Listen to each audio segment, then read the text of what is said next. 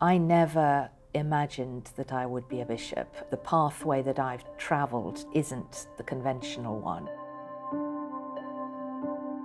In some respects, the job I hold is actually undoable.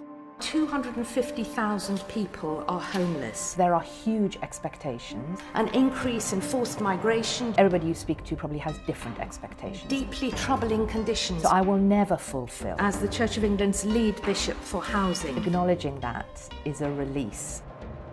I can only do what I can do. How to do this when you're a minority who is fearful for your existence? The crux of faith is that God loves us not because of what we do or because of what we achieve, but simply because of who we are. My parents were both people of deep and profound faith who've had a huge influence and continue to have an influence on me. How it's possible to see good things come out of very dark circumstances.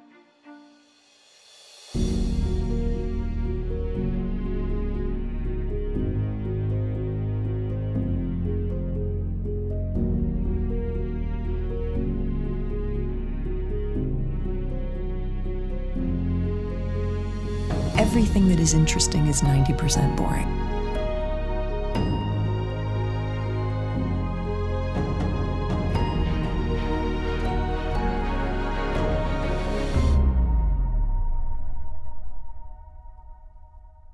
My lords, I was introduced to the House barely a month ago, having recently taken up my post as Bishop of Chelmsford, that vast and wonderful diocese that covers the whole of Essex and East London. I come myself originally from Iran. I'm kind of surrounded by things that are reminders of different times in my life. This is a Persian cross. That's the Lord's Prayer in Persian. I left as a teenager during the Islamic Revolution and following difficult and traumatic circumstances. That was the bishop's house in Iran. That's where I grew up. Properties were confiscated, financial assets frozen.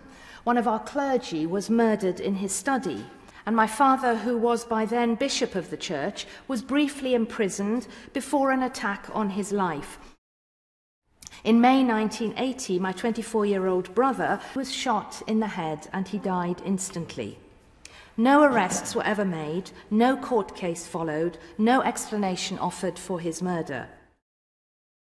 My vocational journey began with a very simple question. Things weren't quite working out as I imagined in my life or was wanting, so I simply I was asking God the question, what is it you wanted me? If not this, then what is it?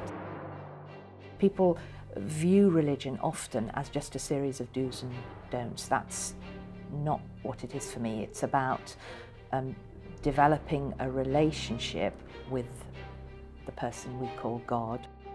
Faith is about something that connects us to, to the big and the beyond life and you know life after death and all of that but actually faith is also very much about believing in life before death and trying to be a part of improving the situation in, in people's lives. That's, that's why for me we have to be political with a small p because we're about people's lives.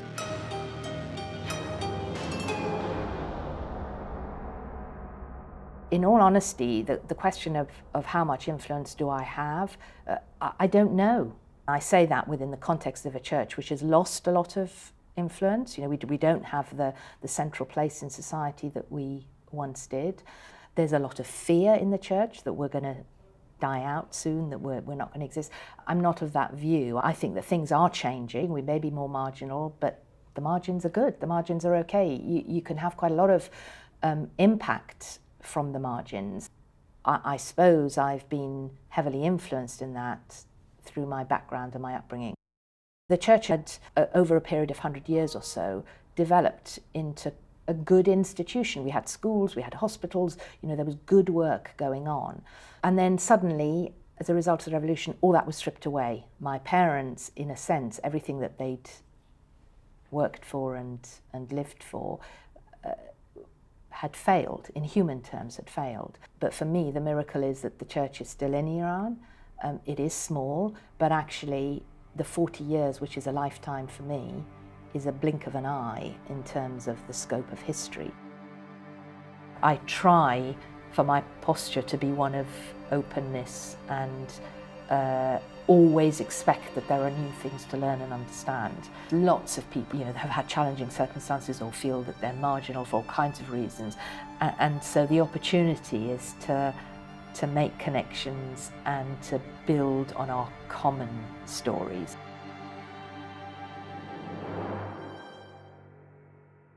Rather undignified place for it at the minute, but this is the, my bishop's staff, which is the, again a symbol that all bishops have, the shepherd's crook. It was originally my dad's, but in his old age, he, he, he sawed the bottom of it off uh, and used it as a walking stick. And so when I became a bishop, my husband had it uh, restored with a new bit of wood, um, but the top of it and the crook itself is my dad's. And I find that to be a very powerful symbol for me that I am my own unique person. I am who I am. Um, but through this metal cuff on which are written the words, feed my sheep, um, I'm also connected, um, not just to my own father and my own family, but to the church in Iran and to, to the church in all time and place. So this is the new bit of wood um, attached on to, to the old. And symbolic for all of us, I think, of both our individuality and our interconnectedness.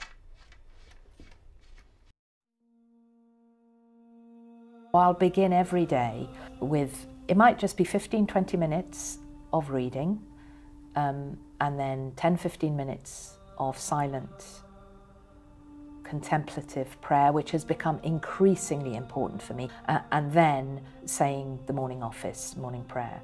Um, so the whole thing may last somewhere between 40, 40 minutes to an hour, and it's on which everything else is built. This is where I come every morning, yeah. We've moved the bins now to back onto this wall. They used to be bang opposite. So much of our lives are about words, but we do very little listening. Uh, and so for me, the real prayer begins at that point when I try to silence the noises in my own head and just in that moment to dwell on God's presence, God's call on my life. It's very difficult, but all I can say is that over time, over the years that I've been doing it, it has given me deep within me a, a sense of growing peacefulness and, uh, and, and calm uh, and proportion and perspective life existed before me and life will exist after me. I think of the role more in terms of who I am and what relationships I need to form rather than the specifics of what I do. How I often think of it is not so much about having a vision and a strategy, it's about trying to determine the direction of travel. Clergy will often talk about the sense of isolation that they feel. It can be quite a lonely role. Often clergy will get very little affirmation um, from the people that they serve, from their congregations, from their communities. And so we can be left wondering, you know, what is, what is my purpose? Am I fulfilling God's call on my life? So I think one of my roles is to try and ensure that clergy feel valued, that they feel appreciated, that they know that they're prayed for. I suppose the way I try to address the whole area of management is to get to know the team that I work with most closely. I will make myself available to, to listen and to have a conversation.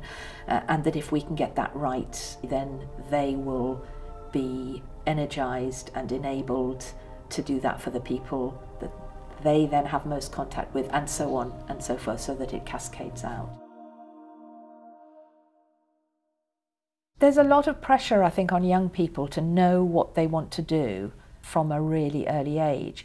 I think that's a shame. We only live life once. There is space for exploring and uh, trial and error, uh, but I think the challenge is to not necessarily get drawn by the ideas of earthly success. I wonder whether those who are drawn purely by financial benefit or, or uh, lifestyle or um, things that will bring worldly praise, as it were. I don't begrudge anybody their, their wealth or their power or their influence, but those things, in my experience, don't necessarily bring satisfaction.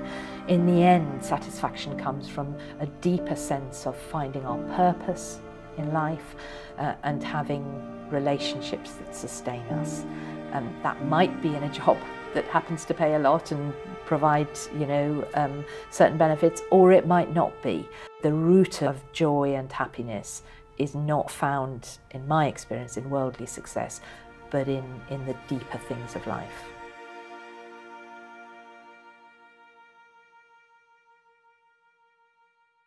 Iran is a land with a rich culture.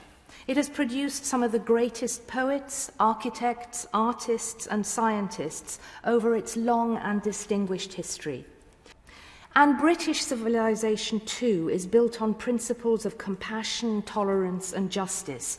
These are thoroughly British values from which I and many other refugees, immigrants and asylum seekers have benefited over the years. My lords, it is better for the soul of this nation to treat people with the greatest possible respect and dignity rather than with hostility and doubt.